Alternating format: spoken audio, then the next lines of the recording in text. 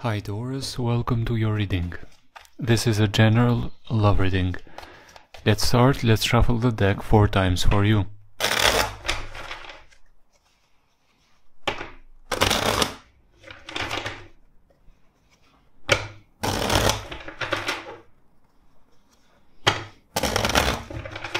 Let's start with the current situation.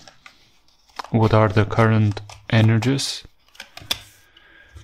Okay, somebody lied in the past, may have cheated or was not quite transparent, and that's what you keep reflecting a lot about. Was that connection and love true and honest?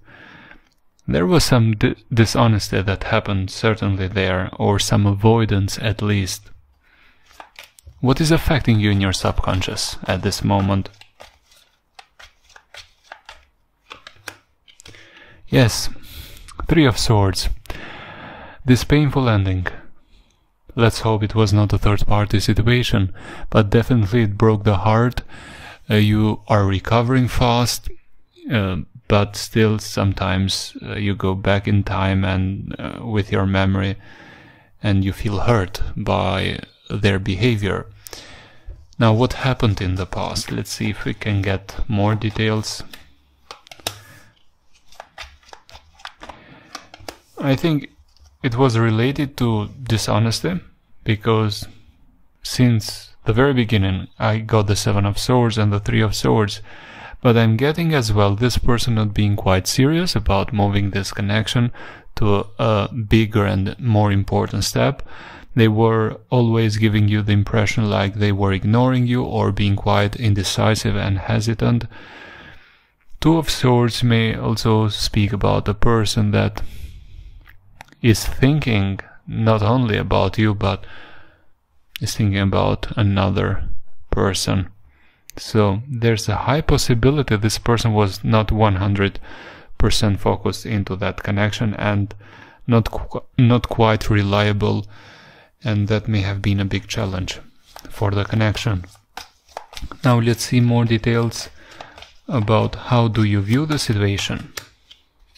You think they are very mature but you know the passion was there. Uh, the connection may have been quite passionate and intensive at times. You think a lot about this idea of giving another chance, even though you, though you see many red flags there. You are waiting and reflecting. Think a lot about that love, wanting more openness and vulnerability between you both.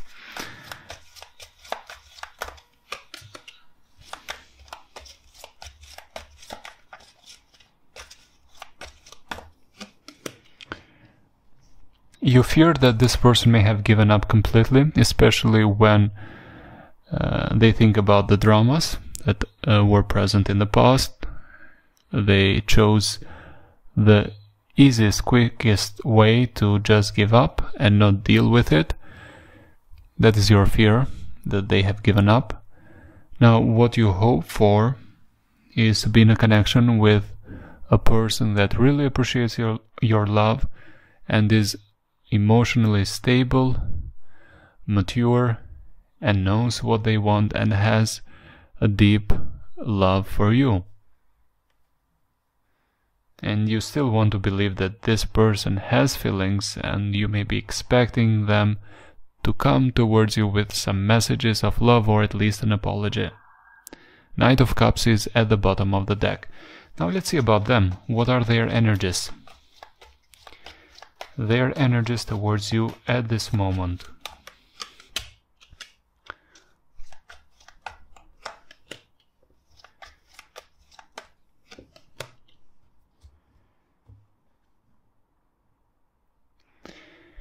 I'm getting the Empress reversed, the Eight of Pentacles reversed, Seven of Cups. At the bottom, the Moon, the Justice, the, the Nine of Cups in the reverse, the Five of Wands, the Hanged Man. So I think in the best case scenario, they would like to make peace and reconcile with you. This is the best case scenario. But for now, I don't see them quite motivated here. They don't believe this connection can grow bigger and better. They are lazy to work on this connection more. They want uh, easy, quick fixes and it seems to me that they are confused and keeping their options open. They don't want to tell you everything.